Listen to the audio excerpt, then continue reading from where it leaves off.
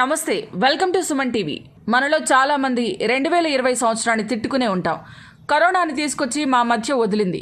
ఇది చాలా bad year అంటూ సోషల్ మీడియాలో పోస్టింగ్స్ పెట్టి ఉంటాం. కానీ ప్రపంచవ్యాప్తంగా ఇప్పుడు జరుగుతున్న పరిణామాలను పరిశీలిస్తే రెండు వేల ఇరవై కన్నా రెండు వేల ఇరవై ఒకటి చాలా కఠినంగా ఉంది. పోయింది అనుకున్న కరోనా వేరియంట్స్ రూపంలో తిరిగి వచ్చింది.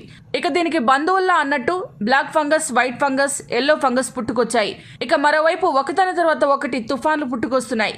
దీంతో ఎప్పుడు ఏ ప్రమాదం ముంచుకొస్తుందో తెలియక ప్రజలు ప్రాణాలను అరచేతిలో పెట్టుకుని జీవిస్తున్నారు.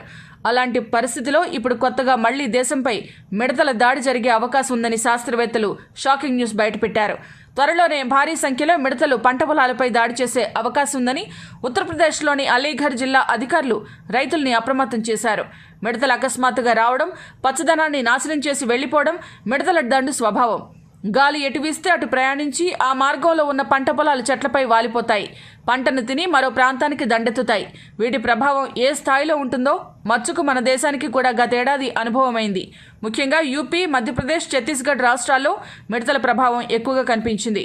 వేల ఎకరాల పంటను ఈ మిడతలు నాశనం చేశాయి.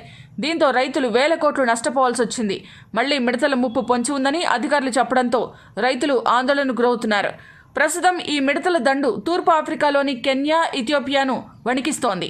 అసలే కరోనా మహమ్మారి కరువు ఆర్థిక సంక్షోభంతో తిప్పలు పడుతున్న ఆ దేశాలకు ఇప్పుడు ఈ దండు పెద్ద గుదిబండగా మారింది.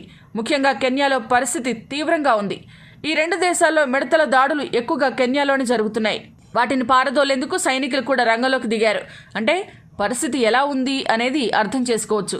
అటవీ ప్రాంతాలు జనావాసాలు కాస్త తక్కువగా ఉన్న ప్రాంతాల్లో పిచికారీ చేస్తూ వాటిని కట్టడి చేసే పనులు నిమగ్నమయ్యారు సైన్యం.